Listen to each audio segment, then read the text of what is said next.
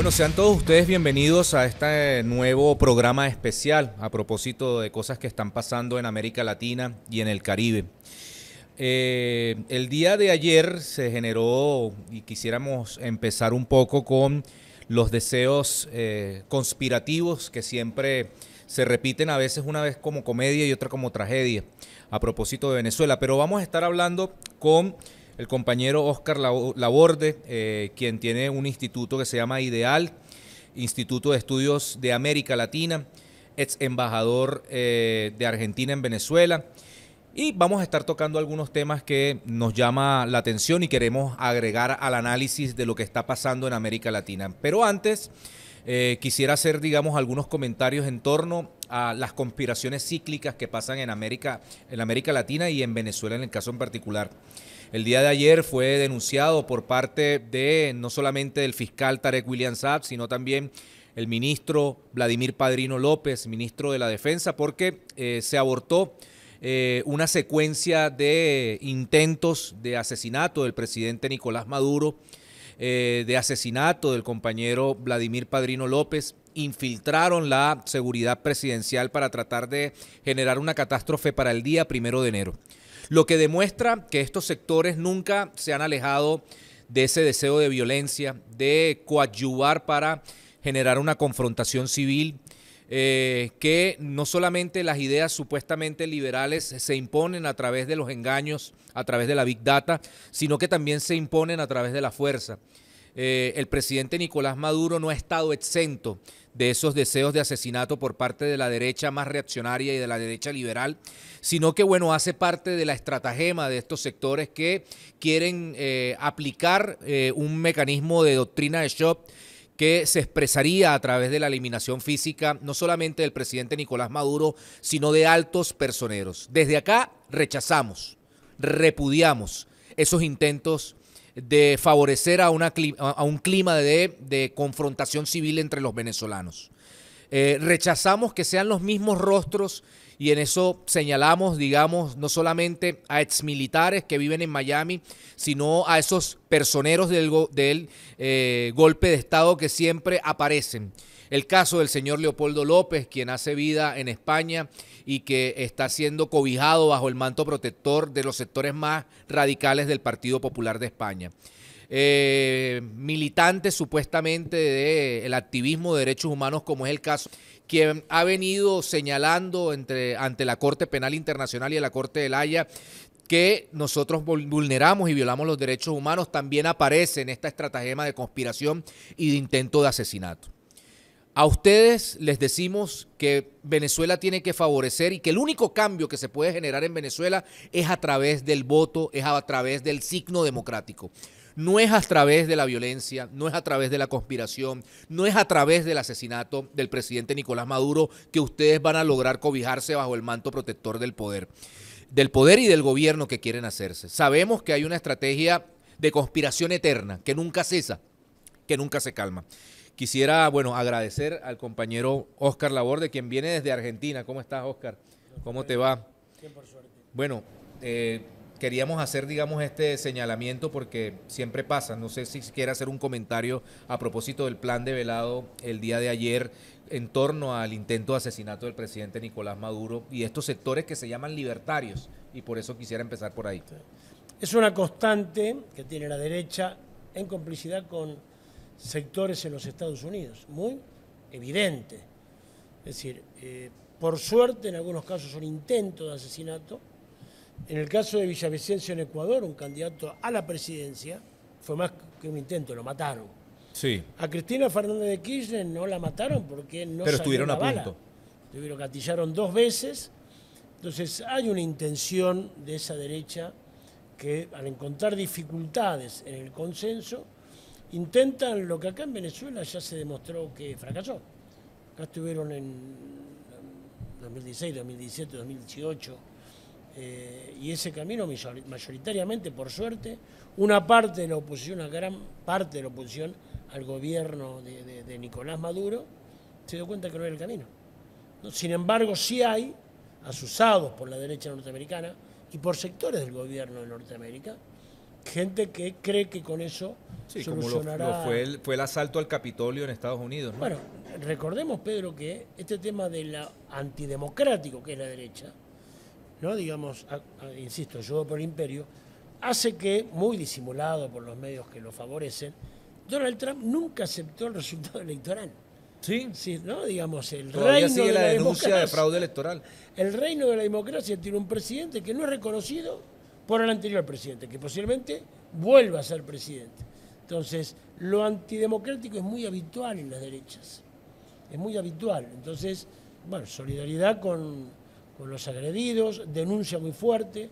No hay que acostumbrarse no hay que naturalizar, porque siempre la, gente trata de distorsionar y dice, bueno, esto es una campaña de manipulación del presidente Nicolás Maduro, pero ahí están las pruebas. Inclusive un jefe de, la seguridad de la viñeta, usted conoce la viñeta, en donde hacen vida el la vicepresidenta, es digamos eh, un lugar en donde hace vida el vicepresidente de la República, pero querían asesinar al ministro de la Defensa y querían asesinar al presidente Nicolás Maduro para el primero de enero. Bueno, casualmente en la viñeta fue uno de los últimos lugares donde estuve también con el presidente Nicolás Maduro antes, antes de irme. Pero, eh, y tampoco decir, bueno, pero los yanquis siempre hacen eso, ya sabemos cómo es la derecha. No, no, hay que denunciarlo. Porque justamente esta idea de naturalizar es normal, bueno, son unos locos sueltos. No, no, no. Hay un plan para toda América Latina. Sí. ¿no? que tiene planes generales y planes particulares para cada país. Y mi ley, seguramente lo veremos en un ratito, es un ejemplo claro ¿no? de esa semilla que pretenden este, sembrar y que dé fruto en otros países. ¿Es embajador o embajador? Yo le voy a decir siempre el embajador amigo del pueblo venezolano, el embajador Oscar Laborde. ¿Cómo van a quedar las relaciones entre Venezuela y Argentina? Ya usted no como embajador, sino como eh, integrante del Instituto de Estudios de América Latina, del Instituto Ideal? Mira, todo está por verse. Ojalá no se interrumpa, más allá de las diferencias evidentes y antagónicas que tiene el presidente Nicolás Maduro y Javier Milei. Yo creo que hoy en América Latina representan efectivamente, claramente dos proyectos. Más allá de esa diferencia, ojalá que se mantenga el funcionamiento diplomático. Incluso ojalá, y estamos trabajando con una asociación de productores argentinos de Venezuela, que se mantenga el intercambio comercial, en mi gestión lo cuadruplicamos. Hay productores Usted fue un elemento dinamizador, digamos, de la relación bilateral entre Argentina y Venezuela, porque antes la balanza comercial era una balanza fuerte, ¿no? Digamos, en el momento más ideal, ¿cuál fue la balanza comercial entre Venezuela y Argentina? Hubo un momento excepcional de 2.500 millones, lo normal era 2.000 millones, y con Macri cayó a 100 millones. Por una cuestión ideológica, porque por la diferencia que tenía Macri con el presidente Nicolás Maduro, dejó de comerciar, hizo lo imposible para dejar de comerciar. Sacó el embajador, eh, suspendió el vuelo de aerolíneas, cualquier empresario que aquí venía tenía rápidamente el repudio del gobierno y un gobierno muy acostumbrado, el de Macri como ahora el de Milei, el tomar medidas con los empresarios, de 2.000 a 100. Y encima era una balanza favorable para Argentina, con lo cual ¿Y qué vendía Argentina en ese momento? Alimentos, este, maquinarias, semillas para el agro, fertilizantes, vinos. Sí. Este, y bueno, eso bajó a 100 millones.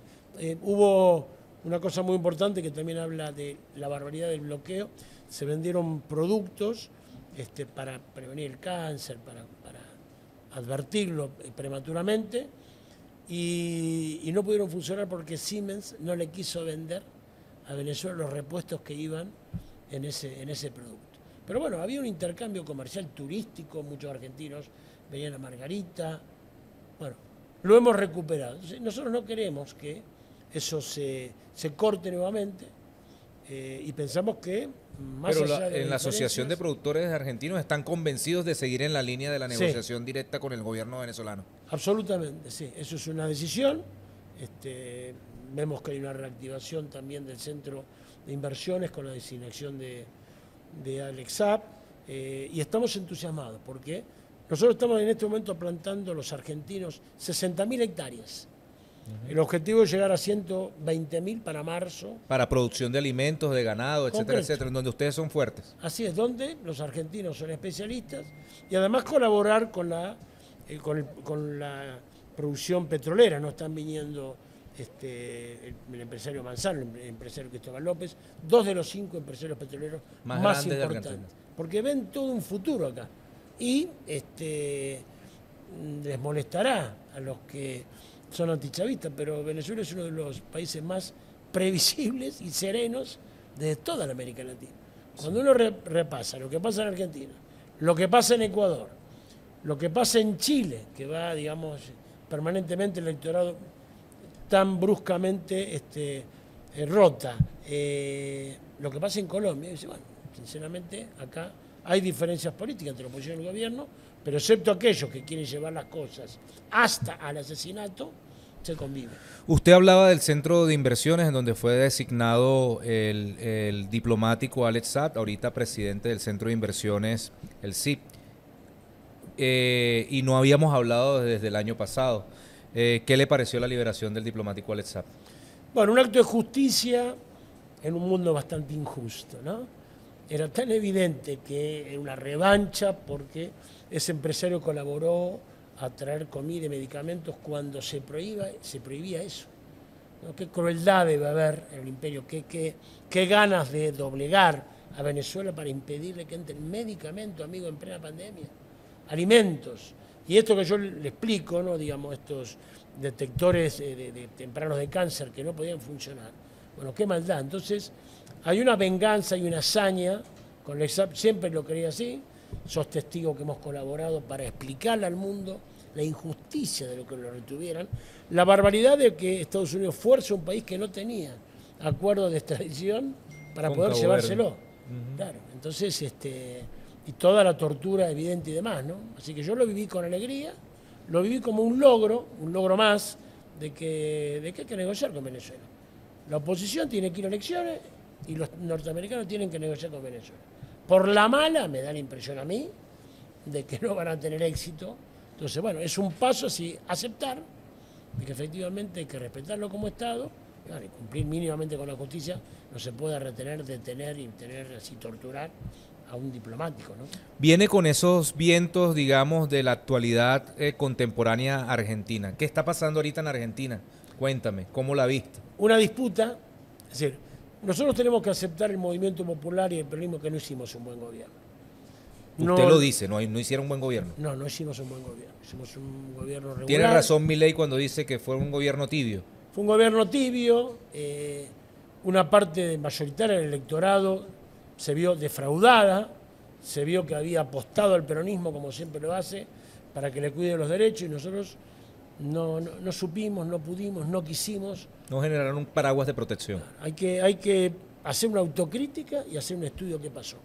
Eso hizo que ese descontento lo aprovechara eh, una derecha libertaria, una derecha eh, terrible, que va a intentar afirmarse en Argentina para irradiar ejemplos.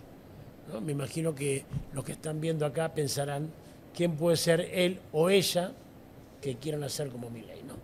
Eh, ese es el proyecto. Claro. Entonces, y ahí también los Estados Unidos ha jugado, porque ¿qué hacen los Estados Unidos? Pero los Estados Unidos no se retratan con Milei tanto. No, pero una Pero parte... están detrás de la estrategia. Absolutamente. Bueno, él dice que eh, reconoce en Estados Unidos, en Israel, sus un- dos únicas referencias. Eh, las referencias que hacen que no acepte Argentina entrar a los BRICS. ¿eh? Los BRICS, un, nucleamiento con los seis países más poderosos que están, aparte de los occidentales, que están moviendo el motor de la economía, ¿no? el, el- el sur global. Y Argentina, junto con otros cinco, es invitada. Una invitación donde Venezuela hubiera querido entrar, México hubiera querido entrar, Y no nos dejaron entrar. Bueno, ahorita sí están en proceso de que en proceso. Y Argentina la llamaron, la invitaron, dicen que no, pero ¿quién se niega a tener los beneficios de participar en un nucleamiento donde hay un banco que tiene 5 mil millones de dólares para facilitarle en proyectos productivos de esos países? ¿Quién? 5 mil millones a cada país. Claro. Así Sí, es. porque, porque lo de Milei fue como que mostró una puesta en escena en que era antichino, pero después estaba pidiéndole un salvamento, una ayuda, eh, un salvavidas Un a China. swap. Sí, pero eh, están. no, es es difícil, sin ser maleducado, encontrar el término. No, manténgase eh, bien educado. Eh, es embajador Laborde, por favor. La canciller Mondino tuvo una reunión con el representante chino para pedirle, a pesar de todas las barbaridades que había dicho, 6.200 millones de dólares. Los chinos habían aceptado y al final de la reunión, la canciller Diana Mondino se puso a hablar de la necesidad de conversar el tema de Taiwán. Ay, Dios mío. Se metió en aguas profundas. Por supuesto que los chinos, que todos sabemos, Le quitó esos 6.200 millones, no te los voy a dar ahora. no se lo dio. Además, nosotros, eh, actuando en contra de los intereses de la unidad territorial, que es uno de los principales sustentos para defender nuestra soberanía sobre Malvinas. Claro, que es casi prácticamente. Es una Es muy parecido, ¿no? de errores que solamente se justifican comprendiendo que son incondicionales con los Estados Unidos y con Israel. ¿no? Eh, la- el Día de la Asunción fue el ejemplo de esa, de esa torpeza. Pero fue todo un, todo un fracaso, ¿no? Porque faltaron fracaso. muchos presidentes. Y pero ¿y cómo no va a ser así, Pedro? Si invitan a Bolsonaro, le dan la jerarquía de un jefe de Estado y no lo invitan, no se preocupan porque vaya Lula. E invitan a Zelensky. Sí, es el, el que, el que trajo el conflicto ruso-ucraniano a la América Latina se puede denominar Javier Milei. Claro, entonces, de los BRICS, nosotros dijimos que, de la B de BRICS, del acrónimo, dijimos que era comunista y corrupto el presidente. De China decimos que Taiwán eh, parece que necesita la independencia.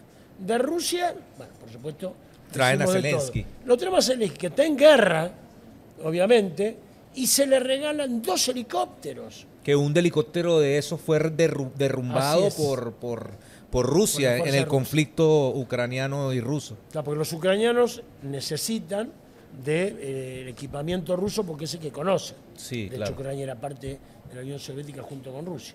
Entonces, todos esos gestos generan una, un aislamiento, los que venían a insertarnos en el mundo, generan un gran aislamiento. Entonces, nosotros estamos en un momento de disputa.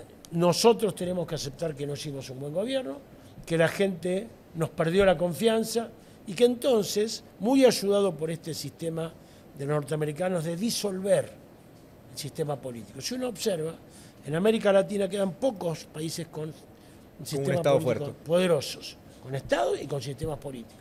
Entonces luego te aparece, luego que se hace eso, que se denigra, que se ataca, que se vacía los partidos tradicionales, aparecen emergentes, Sí. muy manejables. Sí. Emergentes que si, como Pedro Castillo, no obedecen a Estados Unidos va Lo sacan. y si Golpe de obedece como Bukele, lo apoyan, o como Milei. Sí. Es mucho más sencillo cuando no hay gobernadores, un partido atrás, bloques importantes, diputados y senadores, porque solamente al títere, que es lo que está, digamos, sucediendo con Milei, ¿no? Mira, hay un pensador, un filósofo, quien tiene un libro sobre la infocracia que se llama Byung-Chul que habla de que eh, está en peligro la democracia por el tema de la datacización, si se puede decir, del dataísmo. Y que nosotros eh, estamos reemplazando a los líderes por influencers. Cuando yo veo a Milei preocupado por cuál fue el discurso que más se vio en YouTube, en Davos me di cuenta que ese concepto está arraigado en la realidad. ¿Es Milei un líder político o un influencer en busca de views? De me Milei es un- gusta. claro, Milei es un emergente que tiene una idea muy antigua, que es la escuela austríaca, De Von Hayek. la- de von Hayek, de De Mises. mis- Pero claro, una cosa es Milei y otra cosa son los votantes de Milei. Y otra cosa son los grupos que se aprovechan de Milei. Son tres categorías que obviamente interactúan, pero que son diferentes. Milei es un este, abanderado del libertarismo a ultranza. ¿no? Los que votaron a Milei están desconformes, están buscando algo nuevo. También aparece en este momento que muchas veces la rebeldía aparece como de derecha, Y también hay ayuda que usted- ustedes en su sistema político votan los niños de 16 años o los chamos de 16 años, Claro. que fueron los que votaron, un margen amplio de, de votantes de Milei. Claro, pero entre las cosas que no hicimos, Pedro, nosotros descuidamos a los trabajadores, a los pobres y a la juventud. Hay una responsabilidad nuestra. Y hay, naturalmente, cuando uno se equivoca, el enemigo lo aprovecha.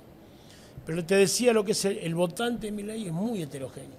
Hay parte de esto que la pandemia modificó hasta la forma laboral, nos hizo más egoístas, nos hizo más este, introspectivos, nos hizo más ensimismados. Y también se asuma eso de que, de, que una de las fuerzas, digamos, laboral que votó por mi ley fueron los delivery, que no tienen derechos laborales sustanciales, ¿no? Claro, porque no aprecia esta juventud que el Estado protector y los derechos pueden ser buenos.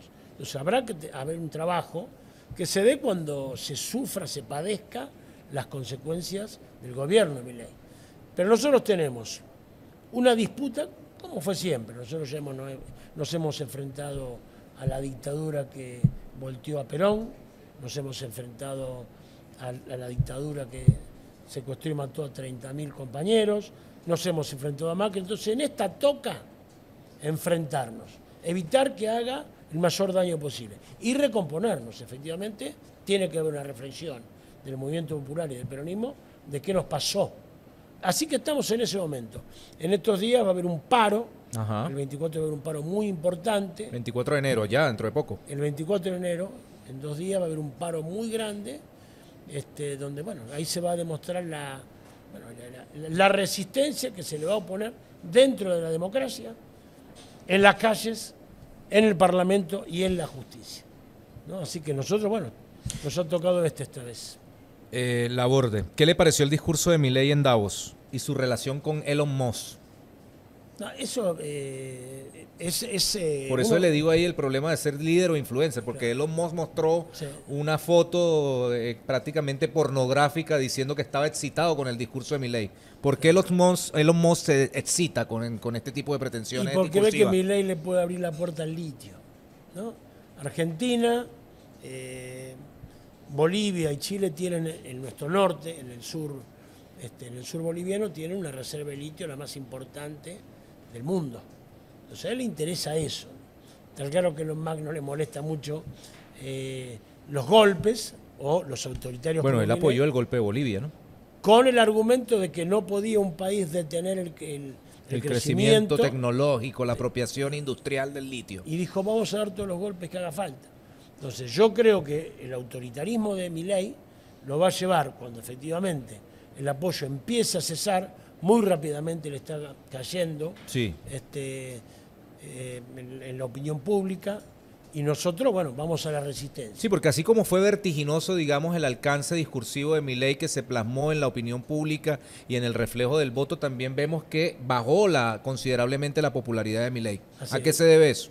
Y se debe a que había una expectativa que está siendo defraudada, no se para la inflación, es mentira que se deja de emitir moneda, al revés, está emitiendo más que antes. Entonces, cuando se sufren las consecuencias del aumento de tarifas, que se va a cuadruplicar. Y el aumento de la gasolina, ¿no? El aumento de la gasolina y el aumento de los alimentos alocado.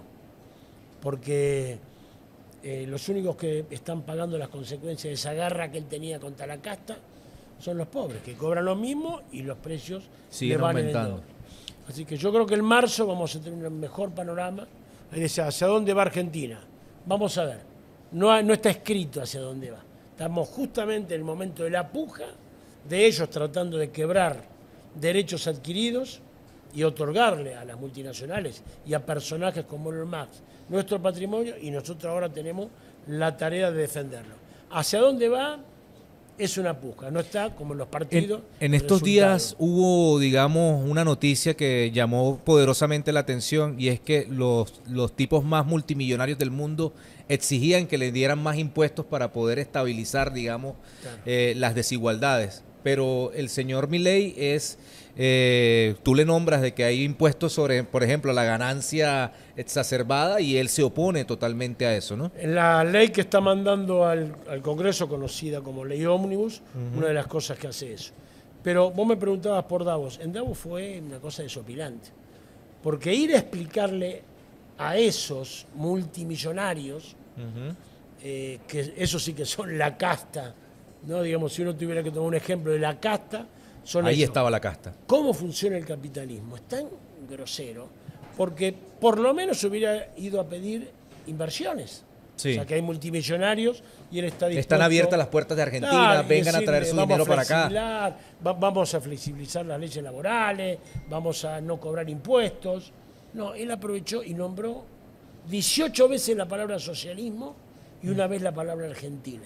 Imagínate. Quedó como un ridículo, evidentemente. Y yo, y tengo vergüenza, ¿no? Vergüenza. No, pero él dice, ¿vieron la cantidad de views que yo obtuve como una persona obsesionada con el tema de las redes sociales, ¿no? Sí, efectivamente. Ahora, ese personaje, que es lo que vos describís, que es un este, mesiánico, que piensa, este, eh, eh, insisto, en la descripción de que él habla con un perro muerto a través de un medio. Con Conan. Con de hecho, va a ser una misión, la misión Conan, para atender a los perros.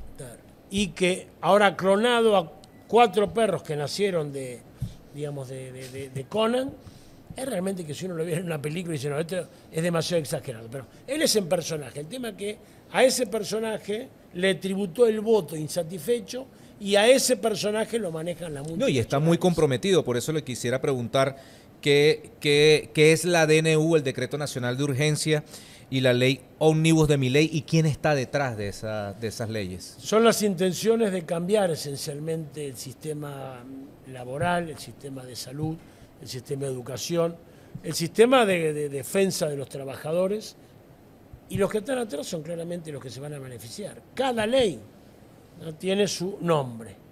bueno, si, si, liberamos, si liberamos la posibilidad de que las tierras compradas por los extranjeros, extranjeros y sobre todo en los límites tengan una limitación, eso ya sabemos a quién le conviene. A Benetton, bueno.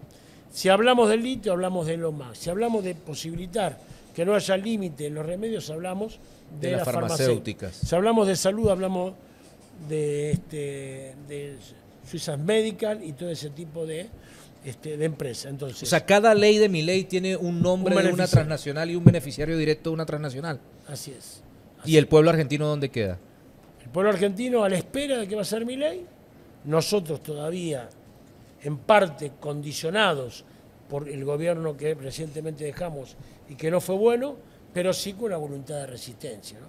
Cuando caigan las expectativas de lo que se esperaba de él y cuando la organización cada vez sea mayor, y yo insisto, el 24, el paro del 24 de enero va a ser una demostración. ¿Usted es de Avellaneda? Soy de Avellaneda, sí. Porque hubo un multitudinario avellanedazo desde las Flores y Mitra hasta Plaza Alcina contra el ajuste de mi ley. Así estuvimos. Yo fui uno de los promotores de esa multisectorial. Caminamos 50 cuadras de hasta llegar a la plaza principal. Era muy lindo ver cómo se sumaba, se sumaba la gente. Fue una caminata por la avenida principal, insisto, de una cantidad de kilómetros importantes. Y ahí se empieza a demostrar desde los balcones, desde las puertas, este, que hay que pararlo, que hay que pararlo. Lo hayan votado o no lo hayan votado, todo lo dice, hay que pararlo. ¿Y el papel de Macri en esta situación? ¿Es el poder detrás del poder? intenta ser el poder detrás del poder. Es uno de los grupos económicos que yo Que también tiene nombre, está, está sugiriendo una serie de leyes que los beneficien directamente a él, ¿no? Absolutamente. Macri está, digamos, encontrando en Milei lo que no, él no pudo hacer por el sistema político que lo tenía acotado. Entonces él apostó a Milei, sigue apostando, porque encuentra en él una persona influenciable para hacer lo que quiso hacer del 2015 al 2019 y no pudo. Así mismo. Miren, ¿qué quiere mi ley? Cambiar el modelo del capitalismo argentino. ¿Qué busca? Volver a la Argentina exportadora con una población pobre de finales del siglo XIX y del siglo XX. Bueno, él dice que fue el momento que mejor atravesó la Argentina. Él quiere volver a eso. Quiere, pero también hay una, un supremacismo, por eso están tan alimentados estas derechas de los norteamericanos. Esos que compraron el capitalio son los supremacistas blancos. Sí entonces, mi ley también tiene una cosa mesiánica primero, es antidemocrático, es violento y es supremacista. Él dice, somos moral y éticamente superiores. Perdón, ¿superiores a quién? ¿Quiénes serían? Los inferiores. Si hay superiores, hay inferiores. Y efectivamente él considera que hay un sector de los argentinos, los argentinos de bien. ¿Y cuáles son los del mal, señor? Entonces lo que está tratando de hacer es una élite con algo de aspiracional que podría rondar un 20, 30%, y el resto no los derechos y si protestan represión. Es ah. el modelo en pocas palabras. Yo me, quedé sorprendido cuando él quiso ponerle un precio a las protestas. Bueno, cobrarle a un sindicato 250 mil dólares por supuestamente, eh, eh, digamos, la- el corredor policial que se generó en la protesta. Pero me acuerdo también que me pareció muy antagónico su expresión, que cuando fue a Mar del Plata se llevó como 1.200 seguridad. Y él dice que quiere achicar el Estado y se lleva 1.200 escoltas para participar en una obra de teatro de su esposa o de Claro, su novia. pero son gestos, Pedro, que tienen que ver. Por un lado, desalentar las protestas. Dice, el que lucha se le cobra, todavía está en tratamiento la cobra de esa multa, o se lo reprime. Ah, o Y sea, no- sí se la van a cobrar. Está en disputa, está en disputa. Puede ser que la justicia termine que haya que pagarla. Y por otro lado, esa exageración que él hace de lo militar, hubo una, bueno, unas inundaciones en Bahía Blanca poquitos días después, y él fue vestido como militar, ridículamente vestido como militar, porque era tratar de bajar el agua, no había ningún peligro militar. Pero Sí, tenía que ir con, sí, tenía que ir con un uniforme de protección civil, no de militar. Claro, pero ¿por qué le exagera la presencia de lo militar? Para desalentar a los que protestan.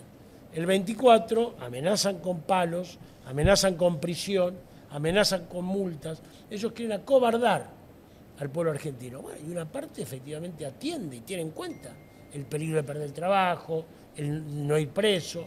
Bueno, ese es el, esas son las actitudes fascistas que las tiene Milei y que tanto le molesta cuando algunos lo deciden. Se acerca más el modelo de Milei a una monarquía que a una democracia.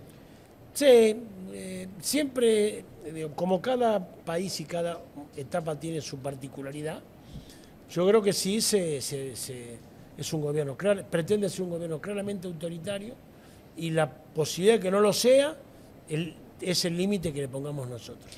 Miren, pasó este fin de semana una noticia, digamos, muy eh, luctuosa para América Latina. Y usted que conoció de cerca Piedad Córdoba, quiero que, me, hable un poco de esa cercanía que tuvo con, con Piedad Córdoba, con la referencia de la izquierda en América Latina. ¿Qué significó para usted Piedad Córdoba? Una amiga, una amiga, eh, concurrió muchas veces en Argentina. A mí siempre me, la admiré por la convicción en sus principios que los decía cuando, cuando había que decirlos sabiendo que era inconveniente para ella. Piedad Córdoba se le sacó la posibilidad de ser senadora, que ella había conseguido con el voto, se la sacó el cargo y se le impidió que continuara. Ahora esa no la cobardó. Ella era el ejemplo permanente de que, bueno, de la defensa que había con la agresión hacia Venezuela, era muy antipático, muy incómodo. Cada uno que, de los que decimos algo sobre evaluar la situación de Venezuela, rápidamente son atacados. Ella apostó a la paz en Colombia. Yo creo que, eh, digamos, uno de los aportes principales para que hoy se esté en negociaciones, estos acuerdos de paz siempre este, difíciles, fue Piedad Córdoba. Entonces, en lo personal, en lo político, en lo moral, es realmente un ejemplo. Y es una pérdida. ¿No? Vivir sin piedad para la izquierda de América Latina va a ser, este, bueno, va a ser dificultoso. ¿Usted cree que el estamento político en Colombia fue extremadamente miserable con Piedad Córdoba? Todo Sí, lo que le hicieron mediáticamente. Bueno, sí, claro, aparte el asesinato de gente muy cercana a ella, la denostación, este, fue miserable, fue cobarde, fue cruel. Bueno, ella soportó la enfermedad, la enfermedad dura al final de su día, que obviamente todas estas situaciones Se la grabó. y se la graban, naturalmente. Pero bueno, eh, yo digo, me queda, me queda con la admiración el recuerdo de, de su, de, su, de su postura, ¿no? de su belleza. De, de Sí, yo decía, yo decía en las redes sociales que nunca le bajó la cabeza a nadie. Yo hablé- tuve la oportunidad de hablar con ella como cinco días antes de su muerte y andaba con un problema para caminar. Entonces yo le dije, ajá, Piedad, tienes que ponerte en terapia, te necesitamos de pie. Y bueno, ella siempre expresándose desde la dignidad, pero muy golpeada con el ataque mediático que fue Eh. miserable y que es mismo muy parecido al tratamiento mediático que ha habido contra Cristina Fernández de Kirchner, su hija eh, sufrió, digamos, y, y tu- tuvo que recurrir a, a- a una ayuda psicológica por el ataque desmedido de los medios que son muy parecidos en Colombia y Argentina. ¿no? Sí, porque hay un modelo de vuelta muy indicado desde la derecha estadounidense que los medios eh, y las redes se mueven con mucha similitud. No, y nos quieren hacer creer que en Argentina hay eh, un joven de 22 años, Iñaki, que llega a hace millones. TikTok, sí. Entonces, eh, no es un algoritmo que le dieron los norteamericanos al equipo. Es este muchacho que con sus 22 años tiene el arte de difundir tanto. Por favor, muchachos, no sean malos. No, no van a creer que, que eso es posible de que exista. Sin No, ahí embargo, está el dataísmo, ahí está el Big Data. Obviamente, la sec- la secta Ahí están los Data, bots. los algoritmos, todo el mecanismo de cómo llegar particularmente a cada necesidad. Sí. Y en la, digamos, todo detrás de un muchacho. Este, Que, que tiene millones de reproducciones en TikTok y que creemos que es inocente, que fue, que nació, digamos, de la, de la, de la, de la divina providencia, ¿no? Eso está estudiado, dónde segmentan el discurso, hacia dónde va el discurso de odio. Por eso es que Byung Chul Han dice que está en peligro la democracia por la infocracia. está, claro, está tan saturada la sociedad con información que en vez de apreciar la cantidad, hay que apreciar la calidad. Es decir, nosotros no tenemos una secuencia del conocimiento, sino que es simultáneo y eso lo que hace es evitar profundizar Sí. en los temas. Claro, ellos tienen los think tank que lo hacen, ¿no? Pero también el movimiento popular tiene que dejar de llorar Sí. y de protestar con esas cosas Sí, por eso y yo quisi- actualizarse. Yo quisiera preguntarle eso, ¿cómo se prepara la resistencia al ajuste de mi ley? ¿Quiénes son los sujetos de esa resistencia? Eh, la clase trabajadora organizada, eh, la principal. En esta etapa es la CGT, la Central General de Trabajadores, es la CTA, la Central de Trabajadores Argentinos, son las que están a la cabeza, ¿no? peleando por el derecho laboral, que trate de ser, digamos, cercenado, pero a su vez identificando lo laboral como una parte de todo un fenómeno. Después la gente que, digamos, que tiene defensa de derechos particulares, ¿no? los, los que por la equidad de género, eh, los pescadores, cada uno de los sectores se está organizando para evitar. Entonces, eso hay que acompañarlo también con la puja en las redes. No podemos dar por perdido. Yo veo que acá, lo veo desde el presidente y lo veo que desde la militancia, Chavita les preocupa mucho eso. Medio calles y redes, decía el presidente. Y- Y paredes. y paredes, porque tampoco hay que olvidar el mano a mano, lo del barrio, pero porque si no nos damos por vencidos. Si nosotros, más que diagnosticadores de lo que hace la derecha, tenemos que también hacer lo nuestro. Bueno, si la derecha tiene virtud y el capital y los recursos para atacar las redes, nosotros busquemos la manera de poder enfrentarlos, por lo menos para tratar de equiparar una, una cosa que hace mucho daño. Porque esto era fake news, esta es la denostación. Sí, lo- el Infowars, como le denominan, ¿no? O sea, la, la- la información de guerra, que lo que busca es, eh, bueno, la espontaneidad, la visceralidad de los votantes, Claro. y te llenan de malas noticias que, bueno, cambia, cambia el sentido de la opinión pública. trabajando sobre el sentimiento más que sobre el razonamiento, ¿no? sobre la ira. Entonces eso está muy estudiado. Bueno, nosotros tenemos que acostumbrarnos a lidiar con eso. En otro momento hubo otra forma de confrontación, incluso más, eh, más peligrosas, Sí. pero nosotros tenemos que lidiar con eso. Yo veo que desde el presidente y la militancia del PSV toma muy seriamente eso y se le da pelea. ¿no? Yo, bueno, creo ¿Qué, que- qué está haciendo Cristina ahorita? es Cristina está, digamos, aconsejando, a nosotros nos parece que eh, es prematuro todavía aparecer con una alternativa política porque, insisto, hay que esto, ver el transcurso de los días, ¿no? yo creo que hay que, eh, en primer lugar, hay que nosotros tenemos que evaluar y autocriticarnos por qué perdimos. Hay que estudiar por qué nos ganó la derecha. Hay que ver cómo está la sensación del pueblo, cuál es la voluntad que tiene el pueblo. Sí. Y sí, por último, organizarnos para incorporarnos a la pelea que hará ese pueblo para, y eso sí tengo seguridad, para evitar que mi ley pueda hacer las barbaridades que pretende. Yo mm, eh, he escuchado mucho de los argentinos de que el plan B de mi ley es retirar a mi ley y que quede la vicepresidenta, que, ¿cómo es su nombre? Villarroel. Villarroel, Victoria Villarroel. ¿Qué opina usted de esa, de esa tesis? Absolutamente posible. Dentro de, de- de la libertad avanza hay como dos sectores. Están los libertarios y están los conservadores, más nacionalistas, más vinculados a lo militar. Ella es un cuadro, este, la vicepresidenta Villarroel, de ese sector. Entonces, la posibilidad, alentada por Macri, que ante una incapacidad de mi ley lo suplante Villarroel, es muy posible. Hay testimonios de reuniones que han tenido Villarroel con Macri, no se sabe qué charlaron, pero uno puede suponer que tal vez estén pensando ese famoso plan B. En términos de justicia, también la justicia ha favorecido algunas causas abiertas de algunos dirigentes de derecha, ¿hay algún sobreseimiento de causa? Sí, inmediatamente ya se vio que a, a Macri, a los amigos de Macri, ya fueron sobreseídos rápidamente en algunas causas, hay algunas, algunas medidas que se han tomado con militares que estaban en prisión o con causas que todavía no habían concluido. Hay un alineamiento de la justicia con la derecha, bueno, que nos tiene que preocupar y que nos tiene que ocupar, ¿no? Pero insisto, eso es lo que vivimos ahora, es una etapa de lucha, América Latina es un lugar en disputa.